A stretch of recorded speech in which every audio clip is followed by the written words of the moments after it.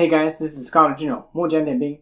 So today, I have my LK Chen Song Hand Dao here, and I want to talk about the pommel, because I made a review video, which you guys should check out if you haven't seen already, but in that video I mentioned, you know, this thing has a ring pommel, I'm not going to talk too much about ring pommels. Now is the time I'm going to talk about ring pommels, so the day has arrived.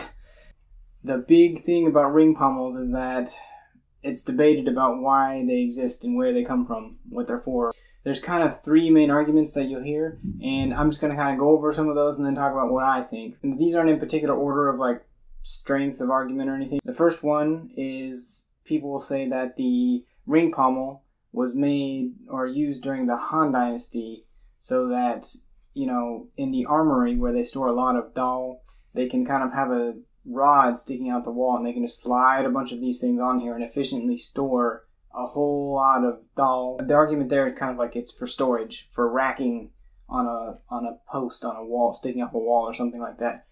I think that's definitely plausible. It's definitely something that could have been done, but I haven't seen you know definitive evidence for that being done. And most of the time when people talk about that, they'll talk about being a thing in the Han dynasty, and I haven't seen anything from the Han dynasty that suggests that that's was why they created this, you know, Huanshou or ring pommel. The second reason that's pretty common about why people say there's a ring pommel on Chinese Dao is because you you can have like a lanyard on it and you can put your wrist through the lanyard and then hold the handle of the sword and that way if you accidentally drop your blade it's still attached to your wrist with the lanyard um, and there is some evidence for this particularly in the tang dynasty but i although there that was definitely a thing that was done sometimes it was definitely not done all the time and i think it's a partial explanation but it's not a complete picture of why we have a ring pommel.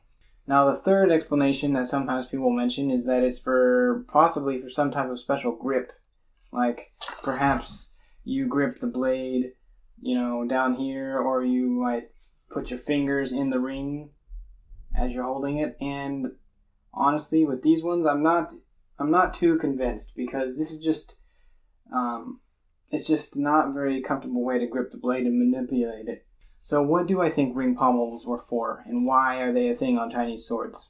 This might be a little bit of surprise to hear, but I think that ring pommels are mostly a thing on most Chinese swords in history, just because it's carrying on tradition. During the Shang Dynasty, which is really, really old, like 1600 BC, it's whenever China first starts using like um, copper currency and and you know bronze currency and stuff like that. During that time, there were a few different kinds of currency that popped up. Like before they started using bronze, they actually were using things like shells, and so they started making bronze shells instead of using real shells.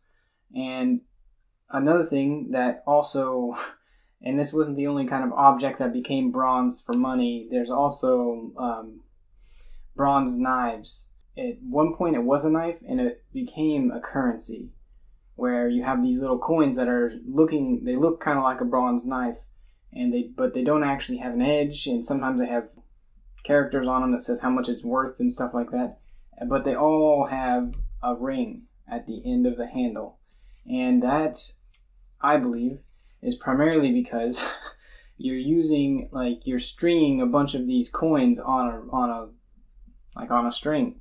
Because you're you know you're sliding a bunch of these coins on a string and you're holding it and you're like looping it to your belt or something like that so you can carry a string of cash. In early china a lot of forms of currency were actually you know you know looped or put on a string like this because it's just a convenient way to carry a bunch of coins and you can count them easily because you can say well here's 10 a string of 10 or a string of 100 or whatever i think that these whenever these small knives started to become a currency is whenever the ring pommel first came about on Chinese Dao. We go even further and we look at the you know form and shape of the Dao Bi or the knife coin, then it actually resembles very closely the Han Dynasty, you know, Huanshou Dao or the ring pommel Dao of the Han Dynasty. Basically, they just take that, you know, coin form, that knife form, and it becomes they kind of stretch it out, make it out of steel,